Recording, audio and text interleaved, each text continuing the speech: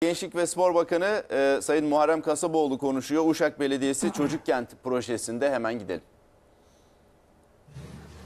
Milliyetçi Hareket Partimizin kıymetli il başkanları, değerli misafirler, sevgili gençler, sizleri saygıyla, sevgiyle selamlıyorum.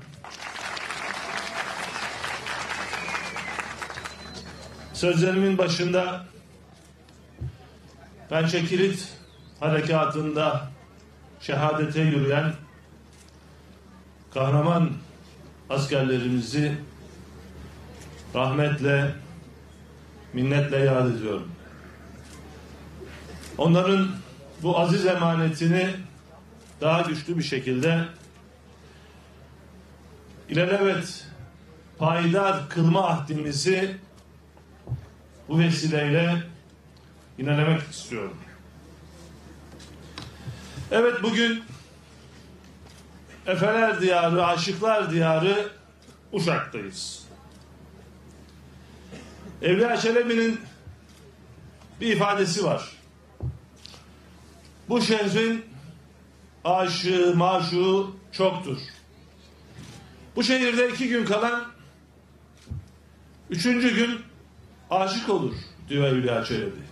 İşte aşıklar şehri bu güzel şehirde tıpkı kilimlerdeki çeşitlilik gibi hem çeşitliliğin hem buluşmanın, kardeşliğin güzel sembolü bu şehirde sizlerle beraber olmak ve böylesine anlamlı bir vesileyle bir arada olmak benim için apayrı bir onur, apayrı bir heyecan.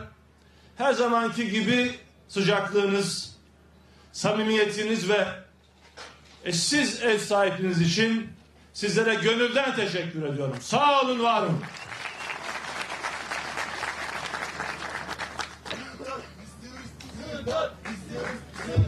Evet. Son 20 yılda Türkiye büyük bir devrimi gerçekleştirdi.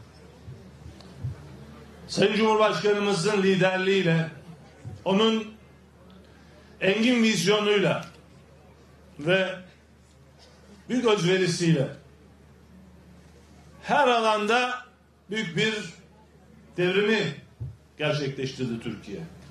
İşte altyapı Ankara'dan geldik. İşte sağlık, işte eğitim, işte sanayi ve işte gençlik, işte spor. Ülkemizin her bir ilini 81 vilayetimizi tüm ilçeleriyle, beldeleriyle, köyleriyle, mahalleleriyle kıyasladığımızda 21 yılda büyük bir dönüşümü görüyoruz.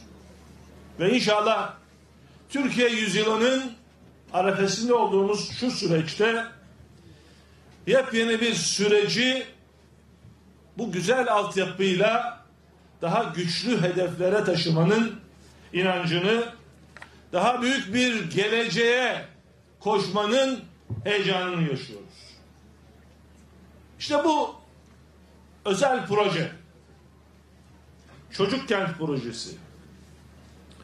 Burada bir tesisin temelini atmaktan ziyade bu şehirdeki yeni kuşakların istikbalini daha aydınlık kılacak bir çalışmanın başlangıcını bugün burada birlikte gerçekleştiriyoruz.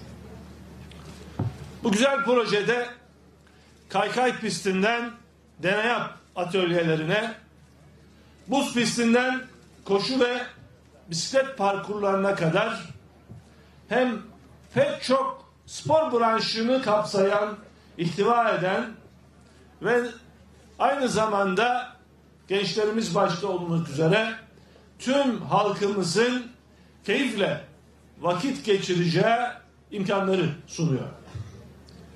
40'a yakın alanda hizmet verecek bir altyapı.